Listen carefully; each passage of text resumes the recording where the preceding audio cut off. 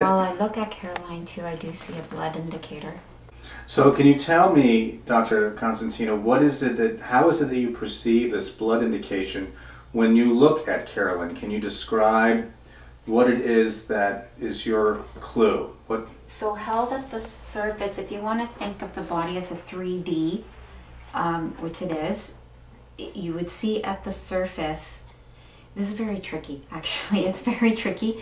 Um, the best and the only thing that actually helped me and perhaps might help others uh, to visualize this is to think of those 3D images where when you're looking at them and you're really focused, you don't see the picture, but when you let your eyes relax a little bit and unfocus, you can actually see the 3D image pop out or pop in.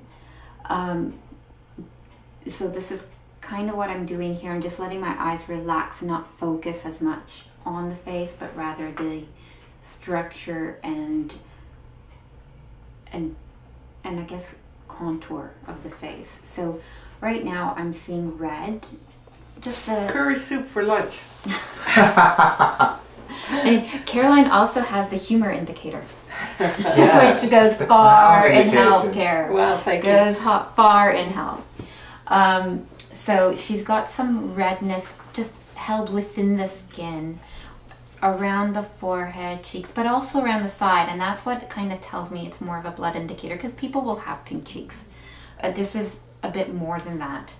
Um, so that's what I'm looking at now. So I wouldn't be surprised that if we drew blood that something would show up as infl- inflammatory processes, which are very common in cancer.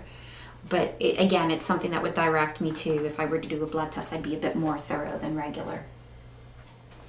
So, is there anything you know um, about her blood, or if she's receiving any kind of medical treatments or medications, how that might be affecting the blood, and what that, how that might guide you in supporting Carolyn? Absolutely, I, I am noticing that people who are on medication seem to have a blood indicator. I'm not entirely sure how to interpret that information. It's just something I'm noticing.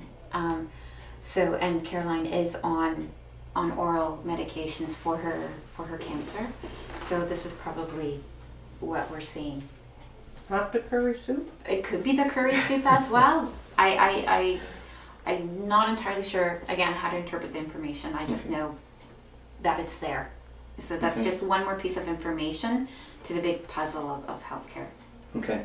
And so, for you, Caroline, the question I have for you, and, and everything you've been experiencing medically, in terms of this kind of evaluation, where you could meet with your healthcare practitioner and discuss your health in this way, um, how does it compare to what you've experienced conventionally, or just you know what what's been your experience of what it's like to interact in this way and learn about body indicators? Any, anything you'd like to share?